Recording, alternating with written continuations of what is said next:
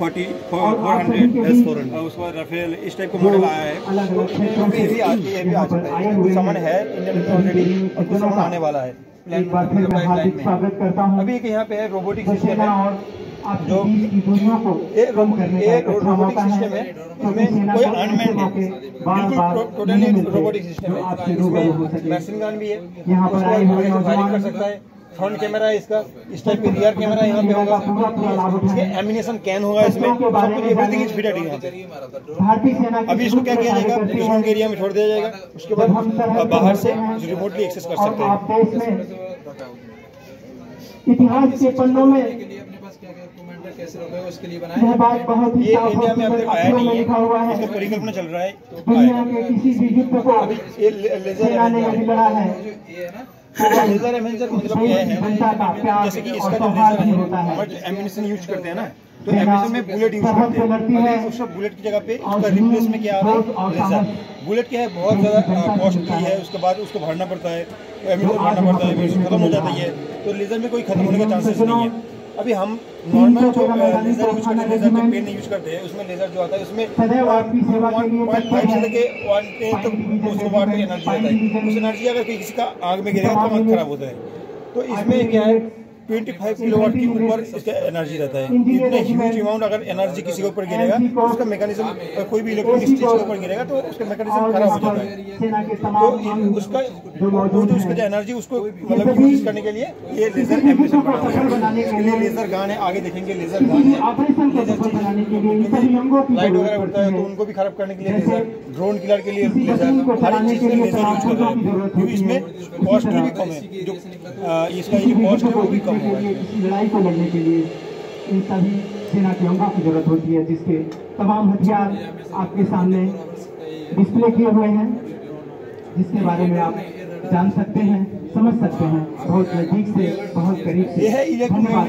बहुत बहुत धन्यवाद अभी क्या है एक चीज़ आ, जैसे कि इलेक्ट्रोमैग्नेटिक मेन गाड़ी क्या है जैसे ये एक पॉइंटर है इस पॉइंटर के अगर आराम से फेंकेंगे तो इसमें कोई चोट नहीं आएगा किसी अगर यही अगर दो सौ माइल पर सेकंड में भेजूँगा, इसका स्पीड होगा तो कितना ये देगा?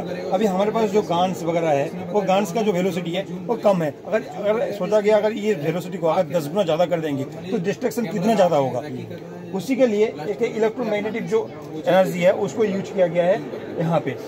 इसमें स्पीड बढ़ाने की, जो बुलेट्स वगैरह है, उसको स्पीड बढ़ा के उसको डिस्ट्रक्शन जो ह्यूज डैमेज के लिए इसको यूज़ किया गया है।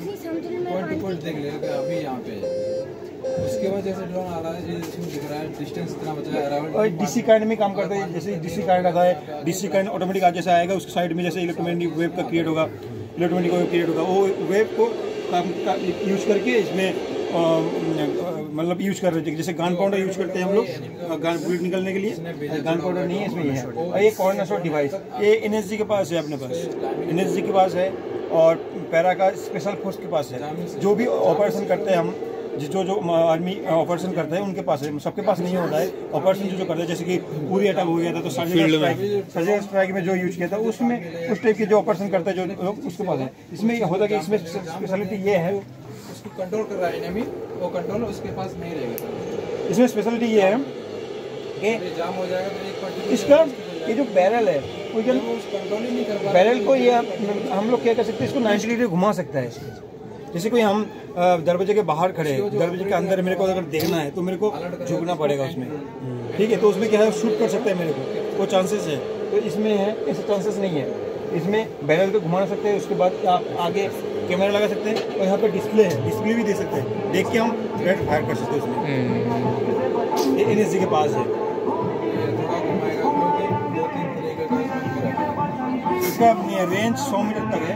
100 मीटर का 100 मीटर बहुत रेंज है इसमें। बहुत है। किसी घर में तो घर में मारना है तो इसको 100 मीटर का ज़रूरत नहीं है क्योंकि 100 मीटर तक रेंज है इसकी। ये स्मार्ट बुलेट है स्मार्ट बुलेट ये इसलिए है जैसे यहाँ वहाँ पे दूर में टारगेट है। अगर यहाँ से मेरे को राइफल दिया मेरे को मारना है टारगेट पे हिट करना है तो क्या है थोड़ा बहुत ह्यूमन एरर भी हो जाता है हाथ हिल जाता होगा। व कुछ कुछ के वजह से क्या है वो टारगेट मिस हो जाता है। अगर यहाँ पे मेरा एक डिग्री हिल गया तो वो दूर में जाके बहुत हिल जाएगा। तो ज़्यादा बढ़ जाएगा।